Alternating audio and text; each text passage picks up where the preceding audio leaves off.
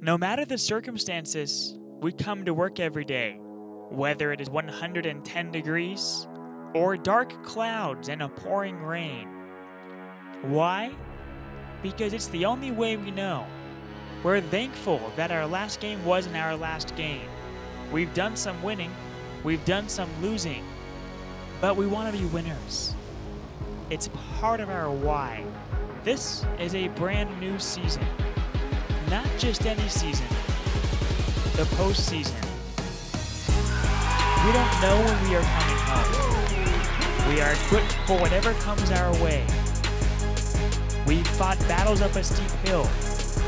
We've maximized pressure. Down one with 20 seconds left? No problem. Down one with three minutes? No problem.